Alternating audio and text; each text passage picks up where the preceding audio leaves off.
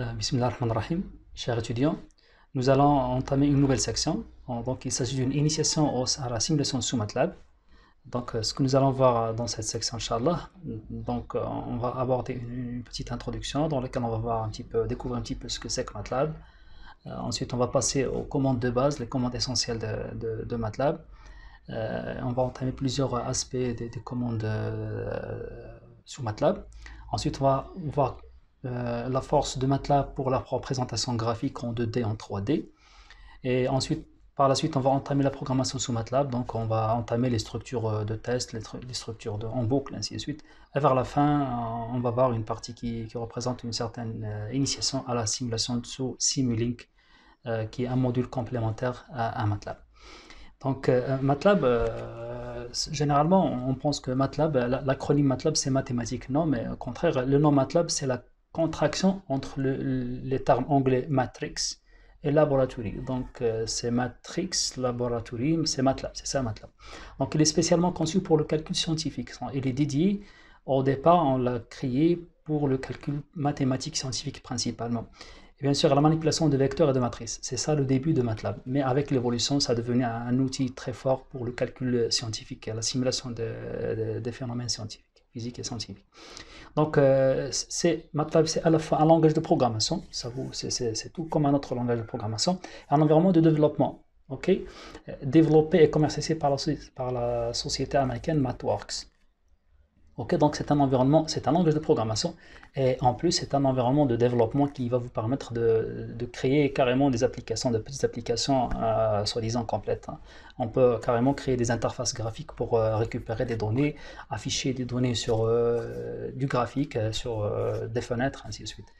Ok, donc il est utilisé dans beaucoup de domaines. Actuellement, MATLAB il est largement utilisé de la médecine à, l'aéronautique, à l'industrie, euh, en éducation et tout. Donc, euh, il est largement utilisé.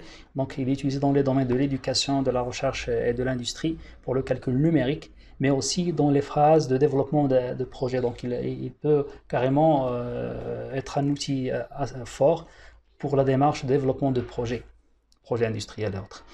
OK? Alors pour s'acquérir MATLAB, donc euh, comme vous le savez, MATLAB euh, est sous licence, il faut acheter la licence d'utilisation de MATLAB. Alors à partir du site euh, de la société MathWorks, donc vous pouvez voir les les, ah, pointeur laser. Vous pouvez voir donc les prix qui correspondent à chaque type de licence. Alors pour une, licence standard, pour une licence perpétuelle, que vous pouvez utiliser toujours, voilà, ça coûte 2350 euh, dollars. Euh, sinon, pour une licence annuelle, c'est 940 dollars. Bon, et avec plus de détails, ça c'est pour la, version euh, standard. Euh, sinon, si vous voulez ajouter des modules, et bien sûr, suivant votre domaine, de, domaine dans lequel vous voulez utiliser MATLAB, vous pouvez acquérir d'autres modules. Et bien sûr, chaque module que vous voulez acquérir, il faut, il faut le payer, bien sûr. Alors, sinon, pour la, licence étudiant, donc vous avez les prix 550 euh, dollars pour une licence perpétuelle. Sinon, c'est 275 dollars par année. Alors pour la licence Home, euh, alors c'est 95 dollars. Sinon pour une licence étudiant, donc c'est 29 dollars pour euh, une licence étudiant. Sinon pour euh, une suite, euh, suite license, pour les étudiants c'est 55. Je pense que c'est à peu près pour chaque 10 étudiants, vous pouvez acquérir une licence de 55, 55 dollars. Ok, alors euh, ici je vous présente des alternatives à MATLAB, euh, donc des outils, des- des outils qui peuvent faire la même chose que MATLAB, donc c'est la même chose et ils sont euh, gratuits et open source. Alors il y a la, première alternative, c'est l'alternative Scilab. Alors c'est un logiciel open source sous licence GPL, donc c'est gratuit, développé depuis 1990 par des chercheurs de l'INRIA. L'INRIA c'est euh, les Français, c'est en France. Donc il est maintenant maintenu par la Fondation de coopération scientifique et donc euh, euh, donc il est disponible sur toutes les plateformes presque Windows, macOS, Linux et BSD. Alors je vous ai mis ici le, lien pour si vous voulez essayer ce- ce- cet outil. Sinon, la, deuxième alternative qui est très très très proche de MATLAB, euh, même la syntaxe elle est très proche de MATLAB, donc il y a carrément du code MATLAB, vous pouvez le tourner intégralement sur, euh, sur cette solution. C'est le logiciel Octave. Donc Octave, c'est également, également un logiciel open source sous licence GPL, donc c'est gratuit. Alors son développement a commencé au début des années 90 par, bon, euh, euh, par, un, par, un, chercheur, donc euh, dans le cadre du projet GNU, donc c'est libre. Alors syntaxe, elle est proche de celle de MATLAB, donc comme je viens de le dire, MATLAB et Octave, c'est presque la même syntaxe. Et bien sûr, il est aussi, lui aussi, il est disponible sur toutes les plateformes Windows, macOS, Linux et, et BSD. Ok, donc vous pouvez le télécharger, l'installer, ça, marche, c'est comme si vous êtes en train de presque intégralement MATLAB. Ok, alors maintenant revenons à, MATLAB. Alors on dit que MATLAB est un interpréteur. Alors un interpréteur, euh, donc cela ne demande pas une certaine compilation. Quand vous allez écrire euh, votre code MATLAB, il n'y a pas besoin de le compiler pour avoir l'exécuter par la suite. Non, il est directement interprétable. Donc il suffit de taper la commande, directement le noyau MATLAB, il va vous donner le, résultat. Donc les instructions sont interprétées et exécutées ligne par ligne. Donc une fois euh, que vous entrez une ligne, vous validez, il l'exécute directement. Ok? Ça ne nécessite pas une certaine compilation, tout comme le langage C par exemple. Ok? Alors donc il fonctionne dans plusieurs environnements tels que Windows, Macintosh, Unix, Linux, ainsi de suite. Ok? Alors pour utiliser MATLAB, il il y a deux modes de fonctionnement alors, euh, deux modes de fonctionnement. Le mode interactif, quand vous allez écrire euh, ligne par ligne, donc exécuter les instructions au fur et à mesure qu'elles sont données par l'utilisateur. Vous tapez la première instruction, vous validez, il l'exécute. L'instruction suivante, vous validez, il l'exécute, ainsi de suite. Sinon, le mode exécutif. Alors, euh, vous allez rassembler votre programme dans un fichier. Ça, on va le voir, on va le découvrir avec l'avancement de cette section. Donc vous pouvez rassembler tout votre euh, code dans un seul fichier, le remettre à MATLAB, donc il va exécuter tous les fichiers, comme un fichier script, hein, tout comme euh, les, scripts Windows ou bien les scripts euh, Linux. Donc c'est comme un, fichier script. Donc le mode exécutif, MATLAB exécute ligne par ligne un fichier M, un fichier qui a l'extension .m, un fichier, bon, c'est pas calcul.m. Alors le .m, c'est l'extension adoptée par le logiciel. MATLAB. ok Alors pour démarrer MATLAB, euh, alors pour démarrer MATLAB, donc en mode graphique, il suffit de taper MATLAB directement, à condition que euh, le, chemin d'exécution soit défini dans, le chemin, euh, le path de votre environnement Windows. Ok, donc ou bien vous allez taper MATLAB tout court hein, dans la ligne de commande, MATLAB, ça va se lancer en mode graphique. Sinon, depuis un terminal, euh, le terminal, le, CMD sous Windows, ou encore cliquer sur l'icône du logo de MATLAB. Hein. ça, c'est ce que vous, connaissez. Alors sinon, on peut lancer MATLAB sans l'environnement graphique. Alors vous pouvez lancer MATLAB euh, rien qu'en ligne de commande, ok? Sans l'environnement, le, menu, les, commandes et tout ça. Donc on peut avoir juste la ligne de commande de MATLAB, euh, comme si vous êtes en train de travailler sur la ligne de commande Windows par exemple, ou bien la ligne de commande Linux. Donc vous pouvez le faire. Donc euh, comment ça? Vous allez taper sous Windows par exemple, MATLAB, moi no desktop. Alors si vous, si vous tapez ça, alors vous allez avoir une fenêtre qui va exécuter le code MATLAB. Alors c'est cette fenêtre là. une fois que vous allez taper MATLAB espace moins no desktop, alors vous, allez avoir cette fenêtre là, rien que cette fenêtre, sans aucun menu, sans rien. Et vous avez ici le curseur pour commencer à taper votre, vos commandes, à taper votre programme. Ok, mais euh, même à partir d'ici, vous pouvez lancer un fichier M, un fichier MATLAB, un fichier .m. Ok? Voilà. Sinon, euh, si vous lancez l'interface graphique de MATLAB, c'est ce, que vous voyez devant vous. Alors euh, ça, c'est la version MATLAB, la, version release 2016A. Euh, Alors c'est ça l'environnement MATLAB. Alors on va voir toutes ces parties-là, à quoi elles servent. Alors, euh, il y a le menu, euh, la partie, cette partie c'est le menu, cette partie c'est l'explorateur de fichiers, la zone de commande, la zone de variables, et ici vous avez l'historique. On va faire parcourir une, une à une. Alors ici c'est le menu qui regroupe les commandes de base de MATLAB euh, pour enregistrer, afficher, les préférences et tout. Hein. Vous avez le menu Home, le menu Plot, bon, tout, tout ce que vous voulez faire comme menu, il est disponible ici. Ok? Sinon, la partie ici, c'est l'explorateur. Alors, ça, va, ça vous affiche l'emplacement où vous êtes en train de travailler, l'emplacement, le dossier. Donc, l'explorateur de fichiers permet de visualiser les fichiers script et de, les ouvrir pour édition. Donc, à partir d'ici, je peux choisir un fichier, double-cliquer et ça va s'ouvrir euh, directement. Donc, euh, ça, c'est l'explorateur pour voir les fichiers du dossier euh, sur lequel je me suis placé pour travailler. Voilà. Ici, c'est la zone de commande. Hein. C'est l'équivalent de la ligne de commande que nous venons de voir tout à l'heure. Hein. C'est la zone de commande qui permet d'écrire les commandes et de visualiser le résultat de l'exécution. Ça, c'est l'espace de commande, hein, cette fenêtre-là, au milieu. OK? Alors, l'autre, c'est ça, la zone de variable c'est le workspace, l'espace de travail. Alors, une fois que vous allez créer une variable, donc vous, pouvez la voir ici, hein, dans cette zone.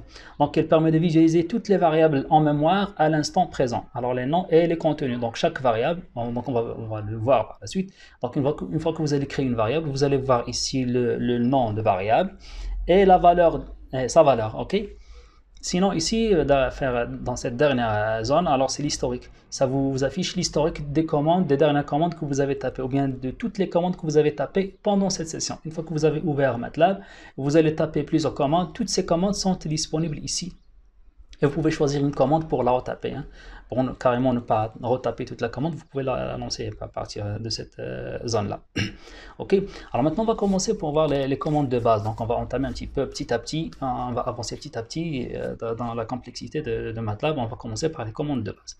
Alors, euh, donc, prime abord, donc, MATLAB, on peut l'utiliser comme une simple calculatrice, une calculette. Donc, vous pouvez taper 5 plus 3, valider, ça vous donne la, réponse. Même, vous pouvez utiliser même les expressions exponentielles, logarithmes, sinus, ainsi de suite, ce que vous voulez comme une calculatrice scientifique. ok?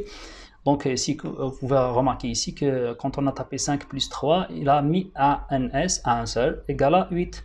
Ok, un seul ici pour un seul, c'est. La réponse. C'est une variable, c'est une variable propre à MATLAB. Alors qui contient le résultat de la dernière instruction que vous avez tapée.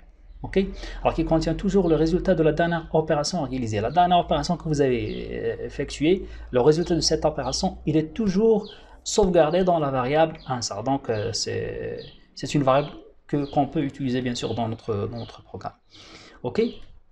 Alors sinon pour les opérations de base, alors euh, les opérations que vous connaissez, alors le plus, le moins, la, multiplication, la division, la, multiplication, la division à droite et à gauche, voilà, donc un exemple, 5 plus 3, 8 fois 2, ainsi de suite. La puissance, ah, c'est ça le symbole de la puissance, la racine carrée, ici, c'est une variable qui désigne la valeur pi 3,14, ainsi de suite. Hein.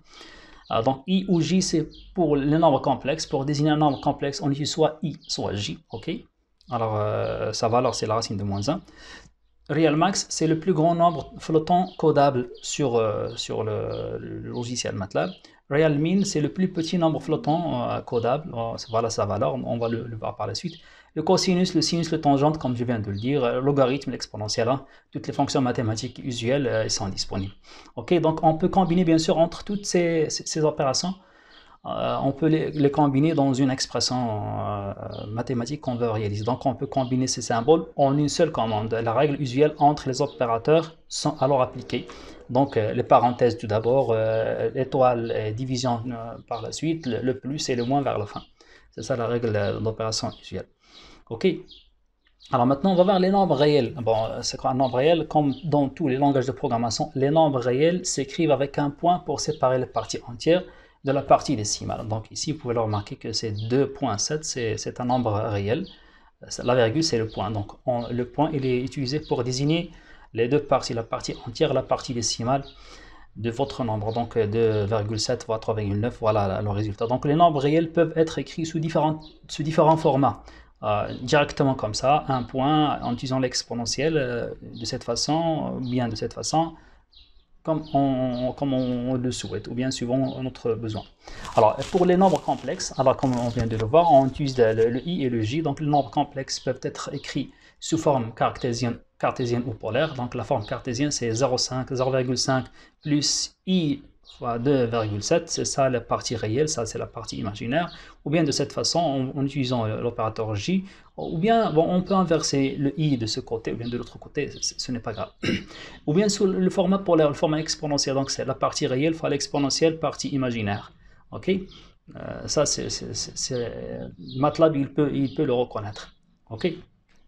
Alors le format d'affichage des, nombres, donc pour choisir le format d'affichage pour les nombres, on utilise l'instruction format pour désigner le format avec lequel MATLAB doit afficher les, nombres.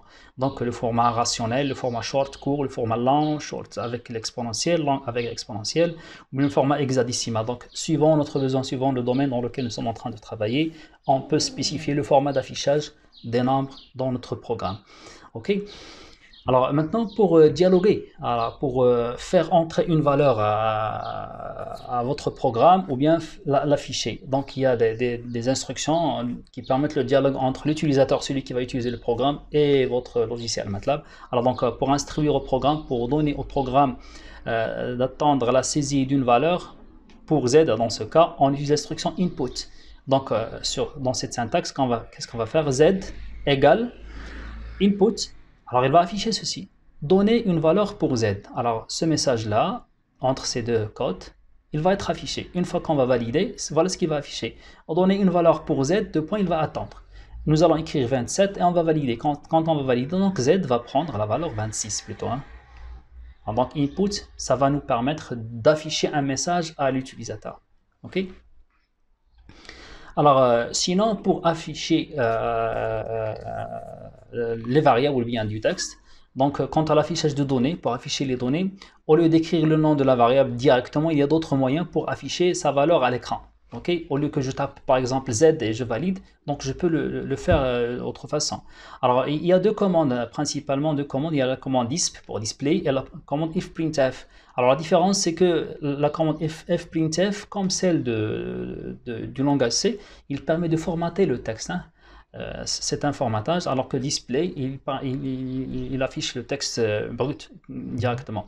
Alors sur cet exemple, vous pouvez voir display, la valeur de ZA, voilà ce qu'il va écrire, alors la deuxième commande, display Z, donc la valeur de ZA, 26. Alors euh, ce texte-là, c'est ce qui est passé à la fonction disp ici. Et ce 26, alors c'est la valeur de la variable z que nous avons passé ici. Voilà. Alors sinon pour l'exemple de, ifprintf, alors euh, euh, j'ai préparé un petit exercice.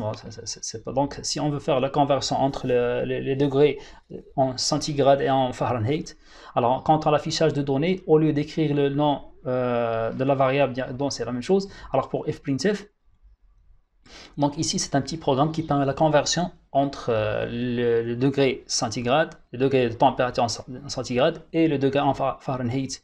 Alors donc, euh, on va prendre une variable f égale à 19. Alors, euh, on veut voir le correspondant en Fahrenheit pour une température de 19 centigrades.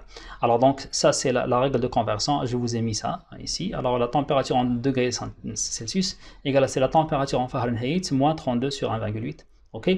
Donc euh, en centigrades, euh, plutôt ça c'est en Fahrenheit, donc euh, en centigrades c'est 5 sur 9, hein, c'est le 32 sur 1,8 fois 19 moins 32. Alors j'ai juste travaillé cette formule là. Alors ce qui, est important pour nous maintenant, c'est la fonction fprintf. Alors fprintf, alors vous pouvez remarquer que c'est exactement la même chose que le langage C. Alors ce qui entre côte ici, hein, ce point-là et ce point-là, c'est du texte. Hein. Alors que, sauf qu'il y a ce paramètre-là, ce pourcent 5.2f, c'est pour formater, pour formater le premier paramètre, celui-là, la valeur en Fahrenheit. Et ce 5.2f, c'est pour formater le degré en centigrade. Ok? Alors ça, ce 5.2, hein, c'est la même chose, 5.2, je veux dire que oh, j'ordonne à la fonction fprintf à ce qu'elle va m'afficher la valeur de cette variable avec 5 chiffres avant la virgule et 2 chiffres après la virgule. Hein, c'est un formatage. donc vous pouvez remarquer ici, pour f, la valeur de la valeur en Fahrenheit c'est 19, Qu'est-ce qu'elle a écrit? Elle a écrit 19.00. Pourquoi le point 00 Parce que j'ai euh, forcé l'affichage à ce qu'il doit afficher les nombres avec deux virgules après la, deux chiffres plutôt après la virgule.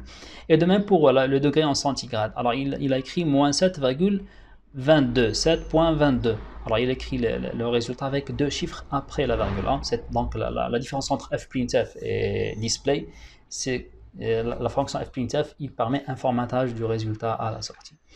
Ok. Euh, alors euh, pour les variables, on va, maintenant aborder les variables. Quand on va pour déclarer une variable, donc il suffit d'utiliser euh, l'opérateur égal. ok, ou bien le symbole égal. Alors, comme vous pouvez le, voir ici sur ce code, y égale à 18. Alors, qu'est-ce que cela va engendrer? Ça va créer une variable, il va lui donner le nom y, et va lui affecter 18. Et vous pouvez remarquer qu'ici, au niveau du workspace, l'espace de travail, Alors voilà, le nom c'est une variable, y c'est une variable, et sa valeur c'est 18. Ok, il l'a mise sur notre euh, espace de travail. Alors cette commande crée une variable y, il lui affecte la valeur 18. Ok, et bien sûr la variable nouvellement créée, elle est ajoutée au workspace, hein, ce, que, je viens d'expliquer. ok, alors toutes les variables, alors pour MATLAB, toutes les variables sont des matrices. Chaque variable c'est une matrice. Bien sûr, une matrice, quand on parle de matrice, il y a deux dimensions. Alors la logique de l'indexation est ligne fois colonne. C'est une matrice qui a des lignes et des colonnes. On commence par les lignes le premier indice, c'est les lignes. Le deuxième indice, c'est les colonnes. Alors, le séparateur. Alors, pour séparer entre les lignes et les colonnes. Alors, MATLAB, euh, comme séparateur de lignes, il utilise ou bien le point virgule ou point return pour passer d'une ligne à une autre. OK? La première ligne finit pour passer à la deuxième ligne. Ou bien on va mettre un point virgule ou bien return, la, la, touche entrée de votre clavier. OK Et pour le séparateur de colonnes, passer d'une colonne à une autre, alors, le séparateur, c'est la virgule ou bien un espace blanc. Ou bien vous mettez virgule, ou bien vous mettez un espace blanc. Ok, donc on peut voir ici sur ces exemples. Alors, x égale à 8. Alors, c'est une variable qui a bon, une seule dimension. Donc, c'est un variable scalaire 1 fois 1. Ok, y égale 1.1,6524891. Alors, c'est une variable scalaire. Hein. Une seule dimension. Hein. Ok, alors que celui-là, V1, c'est 7,2,45,67,3, avec le, crochet ici. C'est un vecteur ligne, C'est une ligne qui contient, c'est une seule ligne qui contient 1, 2, 3, 4, 5 colonnes, ok? C'est une ligne qui contient 5 colonnes, puisqu'on a dit que le, séparateur de colonnes, c'est ou bien la virgule ou bien l'espace blanc. Ici, on a des virgules, C'est un virgule plutôt c'est un le V1, c'est un VL plutôt, c'est VL, c'est un vecteur linéaire. Alors, pour, alors que pour le VC, le vecteur colonne, ok, on va créer une colonne. Donc on a mis des, des, des, points virgule, euh, 6.45 pour dire que c'est un vecteur colonne. Ok, c'est un vecteur colonne qui contient quatre lignes. Hein? C'est un vecteur colonne, c'est une colonne qui contient quatre lignes. Et chaque ligne, c'est sur euh, une seule. Hein? Et bien sûr, euh, pour une chaîne de caractères, alors Z, c'est une chaîne de caractères, c'est un vecteur hein. c'est une ligne qui contient 24 colonnes. c'est une ligne qui contient 24 colonnes. Euh, voilà. Alors maintenant, pour les types de variables, comme tout, tout langage de programmation, euh, MATLAB, lui aussi, il prévoit le, typage de, variables. Alors dans MATLAB, la déclaration de type, elle est, sauf qu'en MATLAB, c'est facultatif. Hein. ce n'est pas obligatoire de déclarer le type d'une variable. Une fois que vous allez le déclarer, une fois que vous allez le créer, donc il détecte automatiquement le type de, de, de, la variable. Alors les types sont déterminés lorsque la variable sont initialisée. Hein. Une fois que, vous allez initialiser une variable, donc les types il est déterminé. Ainsi par défaut, toute variable numérique à virgule flottante. Par défaut, hein, c'est à virgule flottante de double précision. Et les textes sont des chaînes de caractères. Une fois que vous allez écrire un nombre, c'est une euh, variable à virgule flottante. Et si vous, allez taper un texte, c'est une chaîne de caractères, ok, par défaut. Ok, alors pour euh, de grandes variables, si jamais vous allez utiliser, de, suivant votre champ de, travail, le champ de, du problème que vous allez traiter, peut-être qu'il est judicieux de changer le type de variable. Si jamais vous allez utiliser des variables de très grande taille qui vont contenir de très grandes valeurs, vaut mieux de changer le type de, votre variable, alors une chose très, très importante, MATLAB est sensible à la casse. Alors petit a, a minuscule et a majuscule, ce sont deux variables différentes. Hein. Ce n'est pas la même chose. Donc il est sensible à la casse, tout comme le langage C, bien sûr. Alors ici sur ce tableau, je vous présente les différents types euh, de variables de MATLAB. Hein. Vous les avez ici. Alors la taille qu'il occupe en mémoire en byte, en octet. La gamme de valeurs ici. Et si, vous voulez changer une variable d'un type à un autre type, voilà la, fonction qui permet de changer un, type de variable vers le signet 8 bits integer pour un, entier, un entier sur 8 bits signé. Ok, alors ça c'est la fonction qui va nous permettre de convertir une variable d'un type à un autre. Alors ici, vous avez tous les types disponibles sur, MATLAB. Alors, euh, euh, des, variables sur 64 bits, 8 octets, euh, signées et non signées, bien sûr, des variables à double précision, les caractères et des variables logiques. Ok, variables logiques sur 8 bits. Alors, il utilise un octet, il prend les valeurs soit 1, soit, soit 0. Hein. Donc, ici, c'est la fonction de, de, conversion. Voilà, ici, c'est un exemple pour créer des différents types de variables. vous pouvez remarquer ici que x égale à 26 point virgule, y égale à 6, virgule. alors x, y, x, c'est la même chose, z égale à, bon, assalamu alaikum, ça c'est une chaîne, c'est une chaîne de caractères, t, vous pouvez remarquer ici t, alors qu'est-ce que nous avons fait? On a changé le type, le type de, de variable. Donc il a pris la même valeur de x, sauf que on lui a changé le type de variable. Alors vous pouvez remarquer ici que t et x, alors ils ont la même valeur, alors que t et x, ils ne sont pas de la même taille. Ce, n'est pas le même type, puisque t, c'est la taille de t, euh, elle est plus grande que celle de, x. Alors ici, la, commande whos, c'est une commande qui va me permettre de voir toutes les variables qui sont créées, euh, le nom de la variable, sa taille en octet, euh, sa, taille et sa size en, byte, en octet plutôt, et sa classe, hein, le type, type de, la variable. Donc vous pouvez remarquer ici que pour t et x, hein, puisque nous avons ici fait une conversion de t de x vers t, alors t et x, alors euh, ici la taille elle est différente, hein, ok? Celle-là c'est sur 12 octets, alors que celle-là c'est sur 8 octets, ok? Hein, C'est une variable de type double. Ok? Alors euh, maintenant, on, va parler de l'espace de travail. Alors euh, l'espace de travail, euh, c'est un espace qui va englober les variables que, vous allez créer dans votre, dans votre environnement, hein, dans votre session que vous allez créer. Alors l'espace de travail, il dispose d'un certain ensemble de commandes qui vont vous permettre de manipuler ces variables. Alors donc les variables sont stockées dans l'espace de travail ou bien le workspace et peuvent être utilisés dans les calculs subséquents. Donc, euh, on peut les utiliser euh, soit en arrière, soit en avant. Alors, donc, euh, ici, les différentes commandes du workspace. Alors, la commande who affiche les noms des variables actives, juste les noms. ok? Les variables actives hein, qui sont dans votre environnement. Whos affiche les noms des variables actives avec plus d'informations, avec plus de détails. Hein. Il suffit juste d'ajouter le S. Alors la commande clear la commande clear, il permet de nettoyer l'espace de travail. Toutes les variables sont détruites. Alors faites attention, si vous allez mettre clear, ah, si jamais vous avez créé une variable x égale à 5, vous allez utiliser. Si jamais, donc vous pouvez utiliser x par la suite à chaque fois que vous faites appel à x, alors x avant, euh, il est disponible. Mais si vous allez mettre clear, alors toutes les variables clear tout court, sans paramètres, toutes les variables vont être détruites. Hein si vous voulez utiliser x, il faut la, la, déclarer à nouveau. alors si vous voulez détruire des, variables bien spécifiques, alors c'est la même commande clear et vous spécifiez les variables que vous voulez détruire, une variable, deux, trois ou plus. Donc clear x, y, t, alors détruire la variable x, y t. Et s'il y a d'autres variables, ils ne vont pas être détruites. Ok, alors euh, ici, si jamais, si jamais euh, vous avez travaillé dans une session, vous avez créé un, certain ensemble de variables et vous voulez euh, sauvegarder ces variables pour les utiliser une autre fois. Alors c'est possible avec la commande save. Alors vous allez euh, sauvegarder ces variables avec leur, euh, leur euh, valeur. Vous pouvez les sauvegarder dans un, fichier. Alors pour cela, le workspace, il vous, vous, donne la commande save. Save nom de fichier. Donc c'est un nom de fichier que vous allez choisir. Save nom de fichier. Cette commande il enregistre toutes les variables de l'espace de travail dans le fichier que vous avez, que vous avez spécifié. Alors il lui donne l'extension .mat. OK? Et pour récupérer, si jamais donc vous avez fini votre session, vous avez fermé euh, MATLAB, une fois que vous allez le réouvrir par la suite, donc vous pouvez récupérer ces, variables. Alors comment C'est la commande load. La commande load, le nom de fichier dans lequel vous avez euh, enregistré vos variables. donc vous allez récupérer ces variables. Donc ramener, cela va vous permettre de ramener dans l'espace de travail les variables sauvegardées dans le fichier que vous avez, que vous avez créé. Voilà, alors euh, donc euh, c'est fini pour cette partie. Alors la partie euh, prochaine, Inch'Allah, on va parler un petit peu des vecteurs et matrices et les opérations qu'on peut faire sur les vecteurs et matrices sous MATLAB. Je vous remercie et à la fois prochaine, Inch'Allah.